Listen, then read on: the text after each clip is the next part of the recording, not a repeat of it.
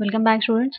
We were seeing the topic on control and coordination. Now in this session we will see how impulses are transmitted through nerve cells. Now we need to first understand what is synapse. You know nerve cells do not touch each other as they are interconnected you can say they are connected to one another one by one through which the impulses are transmitted but they do not touch. They have a small space between nerve cells or you can also call it as a gap. That gap is called as synapse. So microscopic gap between a pair of adjacent neurons over which the nerve impulses pass is called as synapse. Now when an impulse reaches the end of an axon a chemical substance is released that moves across the synapse to the dendrite of the next neuron.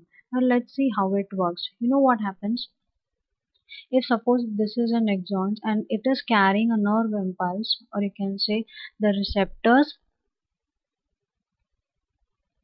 after receiving any sensitization from the receptors these axons you know carry a stimulus uh, which is which is acted upon by an receptor. So a chemical substance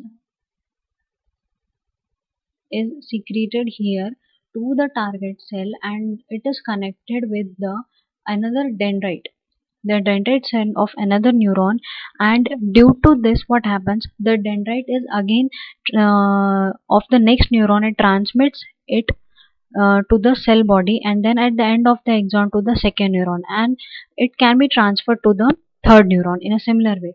So this process goes on like this. Suppose if an axon receive it from the receptor.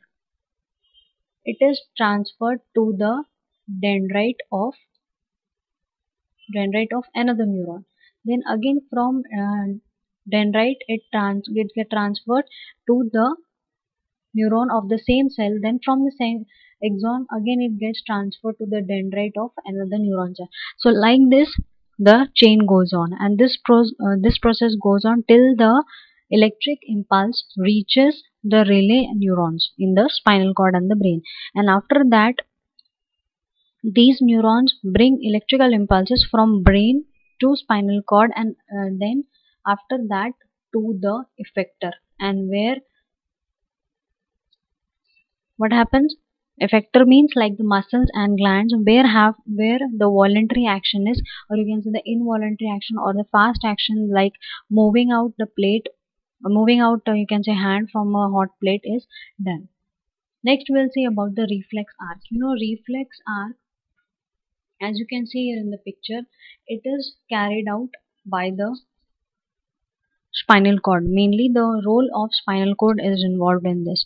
You know we can take the example of in this is that when a pin in your uh, toe or you can say paw is, uh, sharp or it is uh, you know you receive uh, receive the pain. If you uh, accidentally put the your uh, leg on the pin so what happens? You sensitize its pain through thermoreceptors in your leg right? Then the receptor triggers an impulse through the sensory neuron which transmits the message to the spinal cord. Okay. Now here the impulse is in the sensory neuron which transmits the message to the spinal cord. Again the impulse is passed on to the relay neuron and you know one neuron is connected with the other neuron right? So in between there is a synapse okay? So the motor neuron after from the uh, relay neuron it get transferred to the motor neuron okay? Now after the motor neuron passes the impulse to the muscle in the arm. So in the sorry the to the leg and the muscle contracts and pulls away our leg from the pin.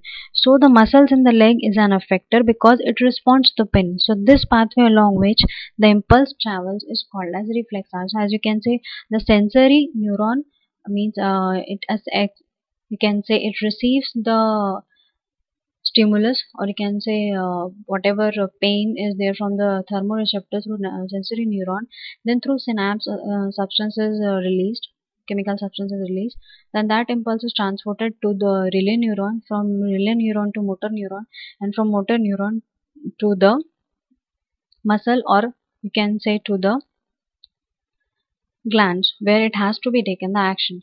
Okay so students this was nothing but the reflex arc. So students in this session we have seen about the reflex arc and the synapse. In further session we will see more about the nervous system. Thank you